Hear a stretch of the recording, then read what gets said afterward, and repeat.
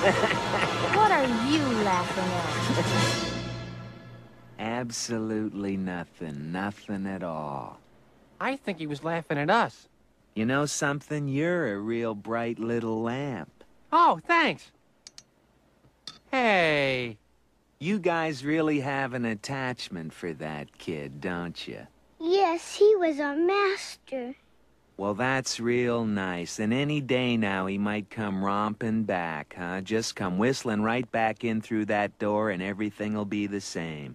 Real peachy keen like. Uh-huh. It's a possibility. Well, at least we try to be optimistic. Optimistic? Somebody untie the knot in this guy's cord. Why don't you just shut off? Hey, I'm real scared there, Kirby. What are you gonna do, suck me to death?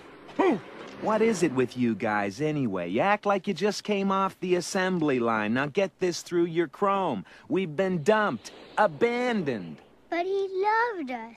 That's right. So what? He's a kid. He has a family. They move away, he moves away. It's a package deal. But maybe they're He's all... not coming back, pure and simple. Oh, yeah? Did you talk to him recently or something? They could drive up any second.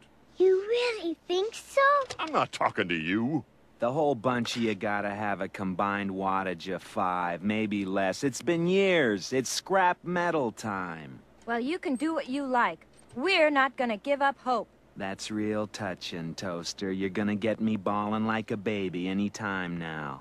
I think you're jealous. Sure, I'm jealous of a bunch of dimwits. Dim? Yeah, because the Master never played with you. Cause you're stuck in the wall.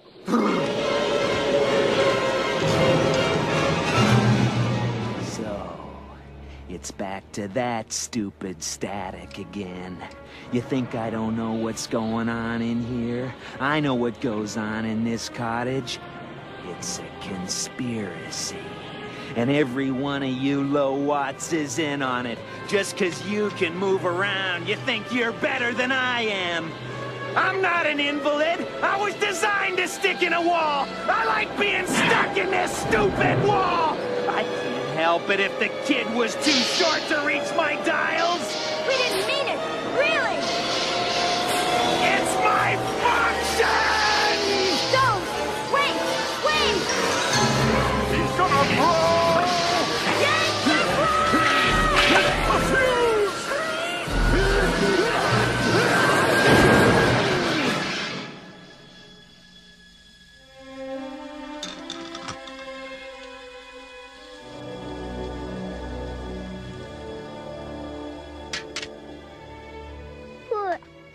conditioner.